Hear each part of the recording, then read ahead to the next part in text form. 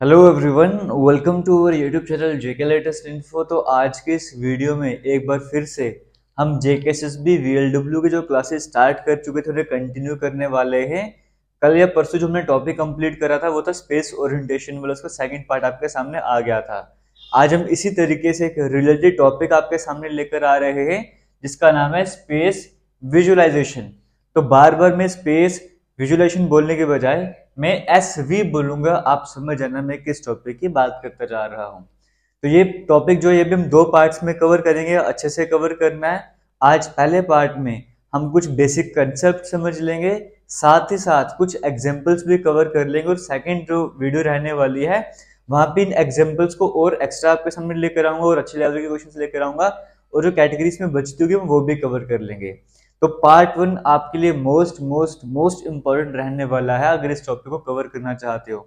और easy topic है, ज़्यादा टेंशन लेने की कोई बात नहीं बस समझना होगा। स्पेस विजुअलाइजेशन यानी कि एस में होगा कि आपको थ्री फिगर दी जाएगी। उसके, उसको आपको देखना है, समझना है और आंसर्स आपको बताने हैं। थ्री फिगर यहाँ पे जनरली क्यूब आपको दिया जाएगा क्यूब की हेल्प से आपने सब कुछ समझना है। अब मैं अगर आपको यहाँ पे एग्ज़ाम्पल लेके चलूँ हालाँकि ये था क्या, ये वीडियो में आपको, अगर आपने देखा होगा रेगुलर हमारे चैनल पे वीडियोस देखते हो तो ये वीडियो पहले बना चुका था बट आवाज़ नहीं आने की वजह से ये वीडियो दोबारा मैं शूट कर रहा हूँ। तो क्यूब अगर मेरे पास अभी है नहीं है तो मैं एक काम कर सकता हूँ, मैं इसको क्यूब मान के चल लेता हूँ। ये मेरे पास है क्यूब है, ठीक है? आपको पता है क्यूब के सिक्स फेस होते हैं, जैसे एक फेस ऊपर की तरफ़ है, एक फेस नीचे की तरफ़। दो फेस हो गए, एक उस तरफ़, एक मेरी तरफ़। चार लेफ़्ट राइट टोटल छह फेस हो गए ना अप डाउन लेफ़्ट राइट ये आगे पीछे वाला छह फेस हो गए इसके। हमें इन्हीं फ़ेज़ से काम लेना है। अब एग्ज़ाम्पल लेके चलते बेसिक कंसेप्ट समझाता जाऊँगा। कुछ बातों पर आपको ध्यान भी देना होगा। यहाँ पे सामने मैंने मिरर भी लगाया हुआ ताकि मुझे पता लग जाए बाइक तो नहीं बंद हो गया, इसलिए मैं बार बार यहाँ पे भी देखते जा रहा हूँ। तो यहाँ पर क्या, मान के चलो मैं एक फोल्डेड क्यूब है, इसको ओपन करने का ट्राई करता हूँ। जैसे मैं इसका एक फेस है, ये मैंने इस तरह से ओपन कर दिया, है ना? एक फेस ओपन हो गया। अगर मैं काम करता हूँ, ये फेस मेरे पास था, इसके अपोजिट वाला फेस नीचे की तरफ़ है। अगर मैं इसको ऐसे ओपन कर लेता हूँ और नीचे वाले फेस को भी मैं ऐसे ओपन कर लेता हूँ। तो लेकिन आप एक बात देखोगे, जो ऊपर वाला फेस है और वो नीचे वाला फेस है, ये आपस में जुड़ेंगे नहीं। एक दूसरे के बिल्कुल साथ नहीं आएँगे। क्यों? क्योंकि इनके बीच में ये जो ये वाला है और नीचे वाले के बीच में ये आ जाएगा, या फिर इस साइड वाला पोर्शन आ जाएगा, या ये, या फिर कोई कोई पोर्शन आ जाएगा। मतलब जो अपोजिट फेस है, वो कभी भी एक साथ नहीं आएँगे। मैं यहाँ पे सिर्फ़ आपको इतना कंसेप्ट समझाना चाहता हूँ। अगर आपको ये कंसेप्ट समझ आ गया तो एक तरह का क्वेश्चन आपको यहीं पर खत्म हो गया। मैं आपको क्या कह रहा हूँ? क्यूब के केस में क्या होगा? जब भी आप इस क्यूब को ओपन करोगे, जो अपोजिट वाले फेस होंगे, वो कभी भी एक साथ नहीं आएँगे, वो अलग अलग रहने वाले सिर्फ़ इतना इंपॉर्टेंट कंसेप्ट आपको समझा रहा हूँ। ये समझ गए हो तो पूरा चैप्टर आपका समझ समझ आ जाएगा। अब आगे चलते हैं। एग्ज़ाम्पल देखते चलो, समझ आता जाएगा सब कुछ, ठीक है? मान के चलो, मेरे पास एक क्यूब है। इसको ओपन करके रख दिया हो। जैसे क्यूब डाइस लूडो खेलते हो ना ऑनलाइन तो खेलते हो देखा हो किसी ने किसी खेलते हुए। वो क्यूब आपके सामने ओपन करके रख दिया हुआ है। फोल्डेड नहीं है ओपन करके रख दिया है। एक, दो, तीन, चार, पाँच, छह। छह के छह फेस ओपन करके रख दिए हैं। अब यहाँ पे नंबरिंग करेंगे। One two three four five six सभी फेसेस को ओपन करके रख दिया हुआ है। मैंने आपको भी क्या बताया? अपोजिट फेस कभी भी साथ में नहीं आएँगे। तो अपोजिट फेस पहचानना कैसे है कि अपोजिट कौन से कौन से हैं? उसका भी सिंपल सा तरीका है। जैसे एग्ज़ाम्पल लेके चलते, आपको पता करना है कि टू का अपोजिट कौन सा है। तो टू का अपोजिट पता है कौन सा हो जाएगा? टू के बाद एक बॉक्स छोड़ दो, जो उसके बाद बॉक्स हो जाएगा। मतलब एक स्पेस छोड़ दो, जो नेक्स्ट बॉक्स होगा, वो अपोजिट हो जाएगा। इसका मतलब मुझे समझ आया कि टू का अपोजिट क्या हो जाएगा? टू का अपोजिट फोर हो जाएगा। उसी तरीके से अगर मैं थ्री की बात करूँगा थ्री का अपोजिट क्या हो जाएगा? थ्री का अपोजिट इस बॉक्स को छोड़ दो, एक बॉक्स छोड़ के फाइव आ रहा है। थ्री का अपोजिट क्या हो जाएगा? फाइव आ जाएगा। उसी तरीके से बच गया वन और बच गया सिक्स ये भी अपोजिट हो जाएँगे। तो इस तरीके से एक क्यूब जिसको अनफोल्ड करके रखा गया है, आप पहचान सकते हो कि उसमें अपोजिट वाले फेस कौन से रहने वाले हैं। ये कंसेप्ट समझ आ गया। तो एक तरह के क्वेश्चन जो एग्ज़ाम में पूछे जाते हैं, वो हम कवर कर लेते हैं इसी एग्ज़ाम्पल के साथ। ये एक एग्ज़ाम्पल आपको समझ आ गई ना, दो बातें याद रखनी है। पहले कि अपोजिट फेस कैसे पहचानना है, वो आपको समझ आ गया। वेरी गुड दूसरी बात आपको समझ आ गई कि अपोजिट फेस कभी भी साथ में नहीं आएँगी। ये दो बातें समझ आ गई। अब देखो क्वेश्चन कैसे होते हैं। ये रहा आपके सामने स्क्रीन में क्वेश्चन अभी आपको समझा रहा हूँ, इस तरह के और भी क्वेश्चन आपके सामने आएँगे। आज की वीडियो में आएँगे, कल की वीडियो में भी आएँगे। बट पहला मैं समझा रहा हूँ, बाकी आपने खुद भी ट्राई मैं आपको करवाऊँगा करवाऊँगा। बट आपने खुद भी ट्राई करना है। जैसे देखो यहाँ पर क्या क्यूब को ओपन करके रख दिया हुआ है। One two three four five six six face आपके सामने ओपन करके रख दिए हैं। ये कहानी आपको समझ आ गई, इसमें किसी तरह की डिफिकल्टी आपको नहीं आ रही है। क्वेश्चन दो तरीके से बनते हैं। पहला क्वेश्चन जो मैं आपको करवा रहा हूँ, दूसरे क्वेश्चन भी सेम तरीके से करना है। जैसे ये क्वेश्चन क्या पूछा गया है? क्वेश्चन लिखा नहीं मैं आपको बता रहा हूँ। इस क्वेश्चन में पूछा गया था, ये जो क्यूब है, जिसे अनफोल्ड करके रखा गया है, इसको दोबारा से आप फोल्ड करते हो, जैसे क्यूब होता दोबारा से वैसा बनाते हो। तो बताओ, इनमें से कौन सा ऑप्शन पॉसिबल नहीं है? यानी कि इनमें से कौन सा ऑप्शन नहीं बनेगा, आपको वो बताना है। क्वेश्चन समझ आया क्या? एक बार फिर से रिपीट कर रहा हूँ। कहा गया है आपको, ये जो क्यूब आपको दिखाया गया है अनफोल्ड करके, इसे दोबारा से पैक करोगे, दोबारा से फोल्ड कर दोगे तो इनमें से कौन सा ऑप्शन जो है वो नहीं बन सकता? जो नहीं बन सकता है, वो आपको बताना है। तो हम समझना स्टार्ट करते हैं। देखो, सबसे पहला इस तरह के क्वेश्चन इनको बोलते हैं ओपन डाइस ठीक है? इनको बोलते हैं ओपन क्यूब ओपन डाइस दूसरे क्लोज में आपको समझाऊँगा दो कैटेगरी ओपन डाइस पहले हम ओपन डाइस वाले कंसेप्ट लेकर चल रहे हैं, या ओपन क्यूब वाले कंसेप्ट लेकर चल रहे हैं।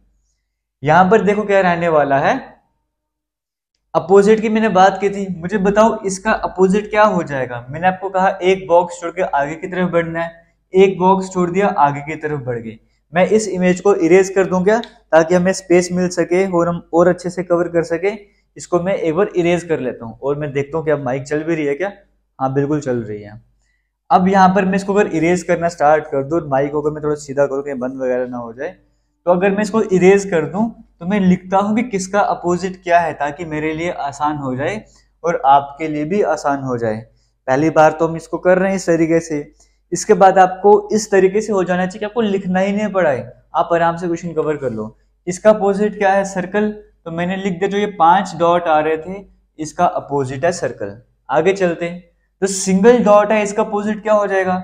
इसका अपोजिट ये वाला हो जाएगा, क्योंकि एक बॉक्स छोड़ के आगे बढ़ना है। यानी कि सिंगल डॉट का अपोजिट है ये ट्राइंगल और बच गए ये दोनों, ये भी अपोजिट हो जाएँगे।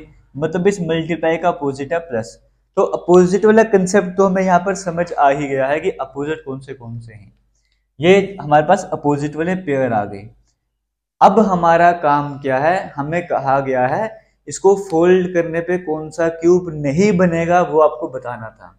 यहाँ पर देखिए, अगर इस फिगर की तरफ़ ध्यान दिया जाए तो हम यहाँ पर देखते हैं, जो पाँच डॉट हैं और सर्कल है, ये तो अपोजिट है, ये एक साथ आ ही नहीं सकते। लेकिन अगर आप ऑप्शन नंबर ए की तरफ़ देखोगे, पाँच डॉट और सर्कल एक साथ आ गए। भाई, ये फिगर तो इनके साथ में है, ये फिगर साथ में है, ये आपस में साथ में है। जो चीज़ अपोजिट है, वो साथ में कैसे आ सकती है? पॉसिबल ही नहीं है।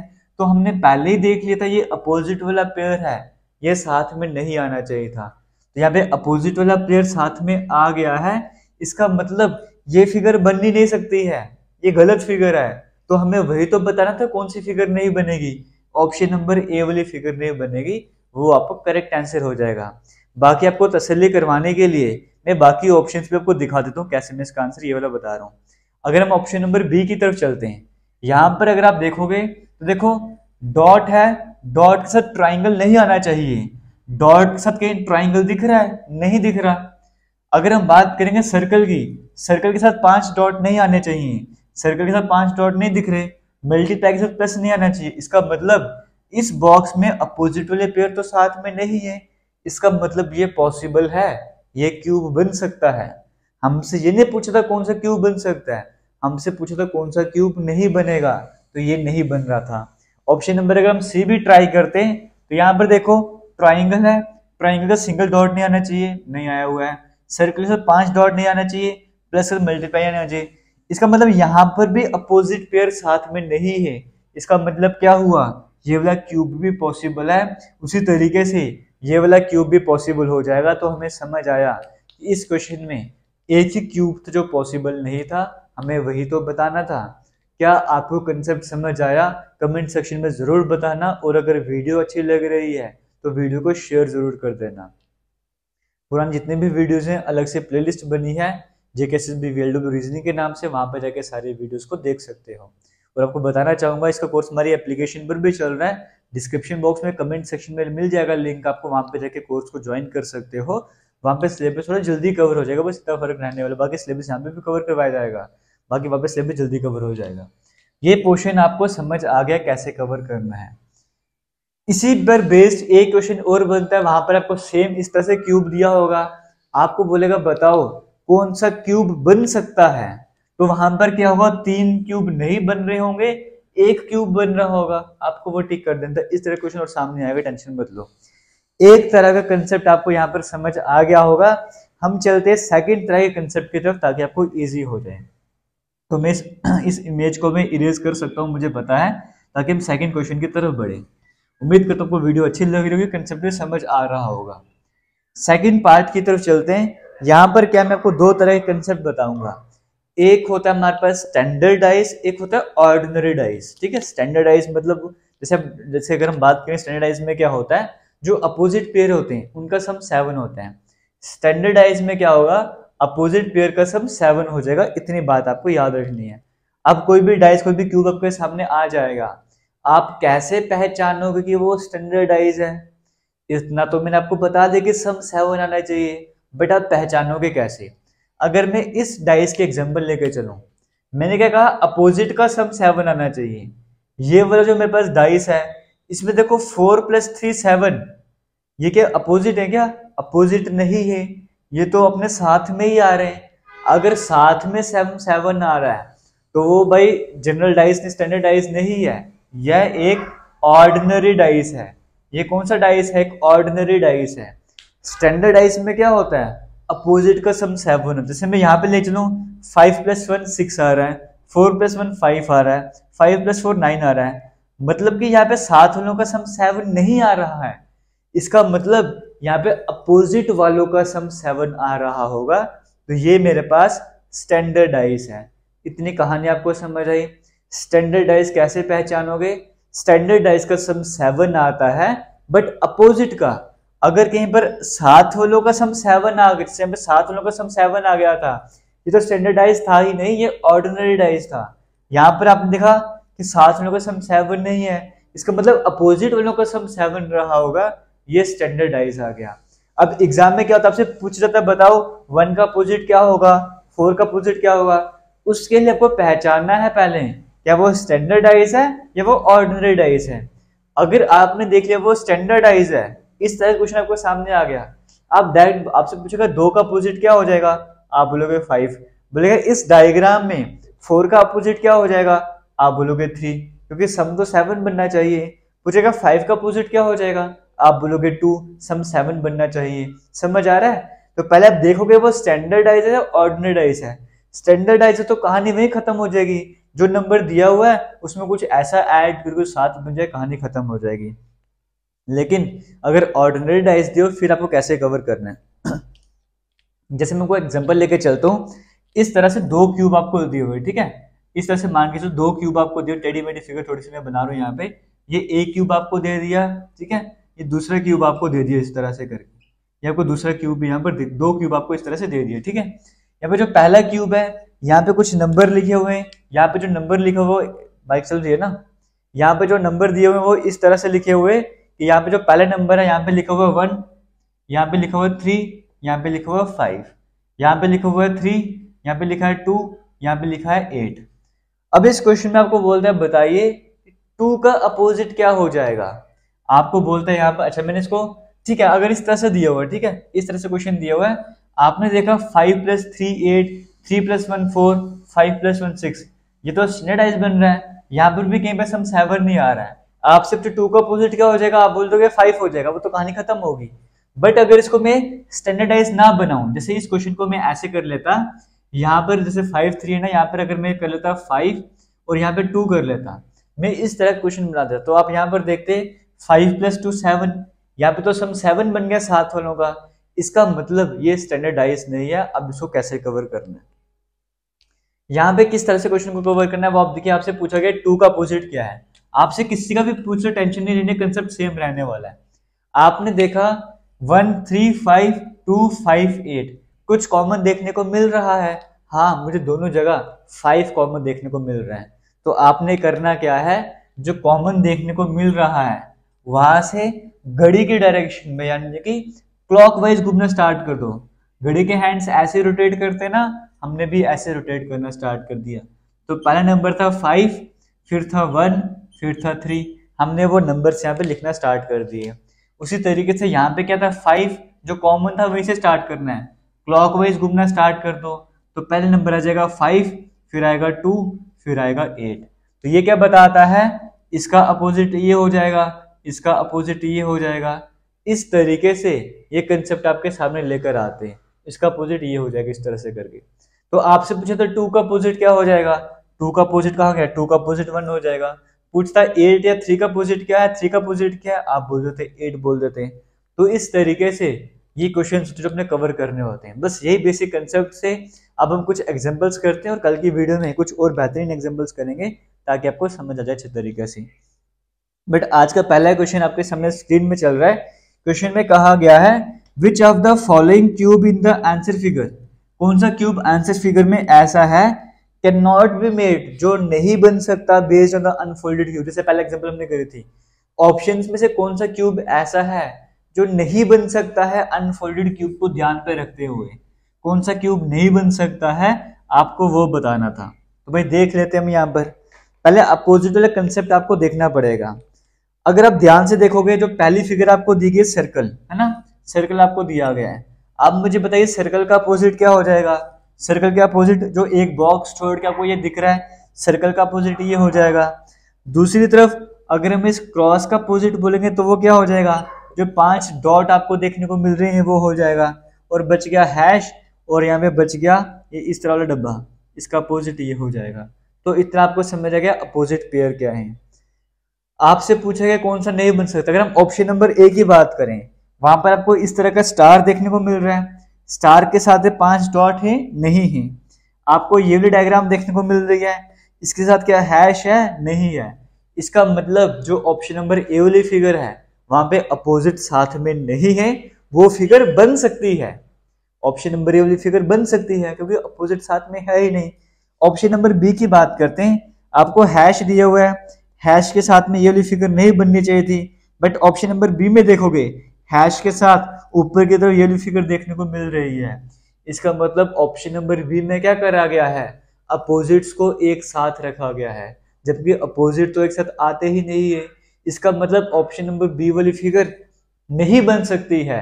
आपको वही तो बताना था तो ऑप्शन नंबर बी आपको करेक्ट आंसर हो जाएगा। आगे चले नेक्स्ट क्वेश्चन की तरफ़। नेक्स्ट क्वेश्चन भी आपके सामने स्क्रीन में है। उसे भी देखो कैसे कवर करना है। सेम क्वेश्चन है। कहा गया कि कौन सा क्यूब नहीं बन सकता है, आपको वो बताना था। अगर हम अपोजिट ढूंढना स्टार्ट करें, आप देख रहे होगे यहाँ पर, अगर हम अपोजिट ढूंढना स्टार्ट कर देंगे तो आपने अपने एंड पे भी ट्राई करना और आपको समझ आ रहा होगा। इन क्वेश्चंस तो बिना पेन, पेंसिल के भी आप आराम से कवर कर सकते हो। बस थोड़ी सी प्रैक्टिस करो दो तीन क्वेश्चन के आराम से कवर कर सकते हो। ये जो पाँच डॉट हैं, पाँच डॉट के अपोजिट सिंगल डॉट हो जाएगा। ये जो इस तरह का आपको स्टार देखने को मिल रहा है, इसके अपोजिट ये वाली फिगर हो जाएगी। और जब कोई इस तरह की फिगर देखने को मिल रही है, इसके अपोजिट में रेक्टेंगल वाला बॉक्स हो जाएगा। क्या इतना क्वेश्चन आपको व्हाइट बोर्ड में दिख रहा है? बिल्कुल दिख रहा है। अगर हम एक काम करते हैं ऑप्शन नंबर ए की बात करेंगे, पाँच डॉट साथ सिंगल डॉट है, नहीं है। इस स्टार के साथ ये वाली फिगर है, नहीं है। तो ऑप्शन नंबर ए में अपोजिट पेयर साथ में नहीं है, वो फिगर बन सकती है। ऑप्शन नंबर बी की बात करते हैं, क्या पाँच डॉट जो सिंगल डॉट है, नहीं है। क्या इस फिगर के साथ ऑप्शन नंबर बी में भी अपोजिट नहीं है। सी की बात करेंगे तो सी में भी अपोजिट नहीं है। लेकिन अगर हम डी फिगर की बात करते हैं, डी ऑप्शन में, ये वाली फिगर और ये वाली फिगर एक साथ देखने को मिल रही है, जबकि ये अपोजिट वाले पेयर हैं। तो अपोजिट वाले पेयर एक साथ में कैसे आ सकते हैं? तो इसका मतलब ये वाली फिगर बन ही नहीं सकती है। आपसे वही तो पूछा था तो ऑप्शन नंबर डी यहाँ पर आपका करेक्ट आंसर हो जाएगा। इसी के साथ चलते हैं, आगे नेक्स्ट क्वेश्चन की बात करते हैं। वो भी आपके सामने स्क्रीन में दिया गया है। अब क्वेश्चन थोड़ा सा चेंज कर दिया गया मॉडिफाई कर दिया है।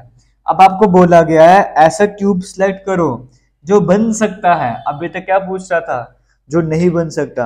अब बोल रहा है ऑप्शन में से एक ऐसा क्यूब है जो जो फोल्डेड आपके सामने क्यूब दियो ना अनफोल्डेड इसके हिसाब से वो क्यूब बन सकता है। ऑप्शन में से वो कौन सा क्यूब है जो पॉसिबल है, वो आपको बताना था। हम अपोजिट लिखना स्टार्ट करते हैं। आपको पता है ओ के अपोजिट यहाँ पे एल हो जाएगा के के अपोजिट यहाँ पे एम हो जाएगा, बच गया टी और यू ये अपोजिट हो जाएँगे, है ना? ऑप्शन नंबर ए की तरफ़ अगर हम ध्यान देंगे तो टी और के एक साथ हैं, नहीं हैं। एल और के इसका मतलब ऑप्शन नंबर ए ऐसा है, जहाँ पर अपोजिट साथ में नहीं है, इसका मतलब ऑप्शन नंबर ए वाली फिगर बन सकती है। आपसे ये तो पूछा था कि कौन सी फिगर बन सकती है? ऑप्शन नंबर ए वाली फिगर बन सकती है, वो करेक्ट आंसर हो जाएगा।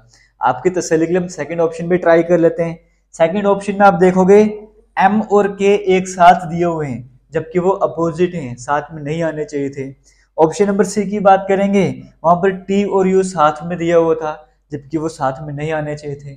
इसका मतलब ऑप्शन नंबर ए वाली फिगर ऐसी है जो पॉसिबल थी, बन सकती थी। आपको वही बताना था। तो उम्मीद करता हूँ इस तरह के क्वेश्चन आपको समझ आ गए होंगे। आगे चलते हैं नेक्स्ट क्वेश्चन की बात करते हैं।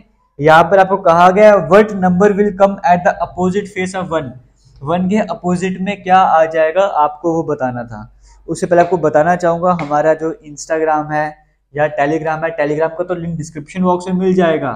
वहाँ पे जाके आप जेके लेटेस्ट इन्फो के नाम से डिस्क्रिप्शन बॉक्स में लिंक मिलेगा टेलीग्राम को वो ज़रूर ज्वाइन करना। वहाँ पे आपके लिए इंपॉर्टेंट अपडेट्स आते रहते हैं। बाकी हमारा इंस्टाग्राम जेके लेटेस्ट इन्फो के नाम से है टेलीग्राम भी इसी नाम से है। ट्विटर भी जेके लेटेस्ट इन्फो के नाम से है। Website JK latest info dot com search कीजिएगा। वहाँ पे कई सारे मॉक टेस्ट रीजनिंग के क्विज मैथमेटिक्स के क्विज जीके के क्विज आपको फ्री मिलते हैं। वो भी वहाँ पे जाकर ज्वाइन कर सकते हो। कई सारे क्वेश्चन सीरीज़ भी वहाँ पे कवर करी गई है।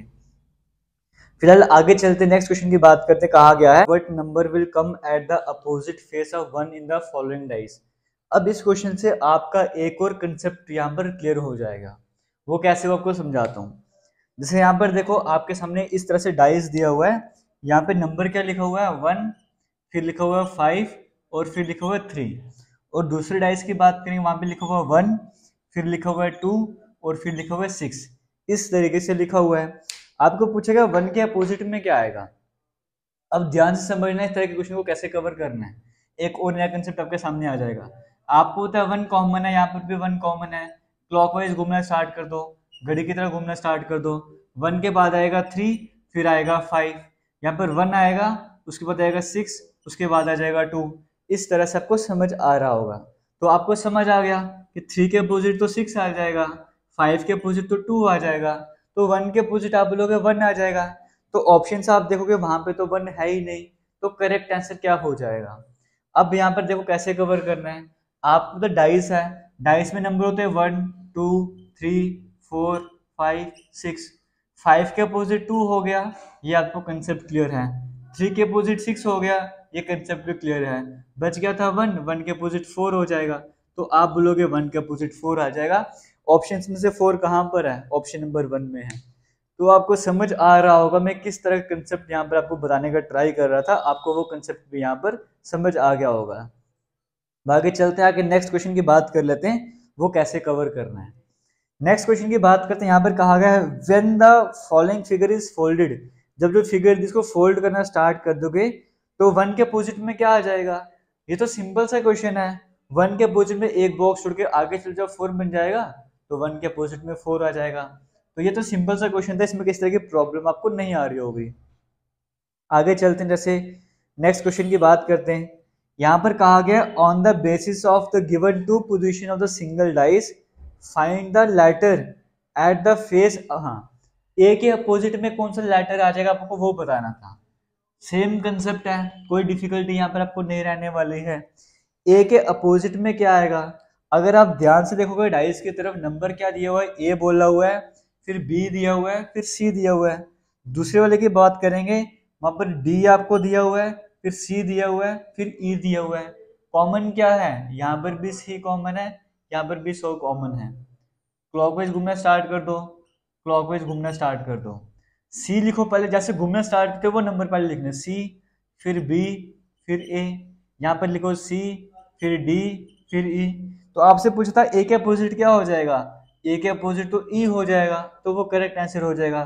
बी का अपोजिट पूछते तो डी हो जाएगा। सी का अपोजिट पूछो तो सी लिखना। क्योंकि यहाँ पे A B C D Z तक जाते हैं ना तो वो डिफ़िकल्ट लिखना आपके लिए। हालाँकि यहाँ पर क्या किया हुआ था? ए फ़र्स्ट नंबर पर आता है बी सेकंड नंबर पे सी थर्ड नंबर पे डी फोर्थ नंबर पे ई फाइव नंबर पे। अगर हो सकता आपसे सी का पूछता, आप अगर ऑप्शन में सी ना होता सिक्स नंबर पे एफ़ आता है, आप बोलते सी का अपोजिट एफ़ हो जाएगा, क्योंकि वन टू सिक्स तक जाता है ना डाइस में तो इस तरीके से करके भी आप इस क्वेश्चन को कर सकते थे। बट उसने सिंपली पूछा था ए का अपोजिट क्या हो जाएगा? ए का अपोजिट यहाँ पे ई e आ रहा था। तो इस तरीके से कुछ इंपॉर्टेंट क्वेश्चन हमने यहाँ पे कवर कर लिए हैं। नेक्स्ट पार्ट में हम और अच्छे क्वेश्चन कवर करेंगे, जहाँ पे दो डाइस नहीं कवर होंगे। तीन तीन, चार चार डाइस भी एक साथ आएँगे, वो कंसेप्ट भी देखेंगे और एक नए पैटर्न के क्वेश्चन भी देख लेंगे ताकि आपको हर तरह के क्वेश्चन आपसे कवर हो जाए। बाकी किसी भी तरह का डाउट होगा, ज़रूर कमेंट सेक्शन में पूछेगा टेलीग्राम को ज्वाइन कर दीजिएगा और अगर कोर्स ज्वाइन करना चाहते हो एप्लीकेशन का, वो भी ज्वाइन कर लेना और साथ ही साथ डाउट होगा तो ज़रूर पूछना और वीडियोस को शेयर ज़रूर करना। मिलते हैं नेक्स्ट वीडियो में, तब तक के लिए थैंक यू जय हिंद।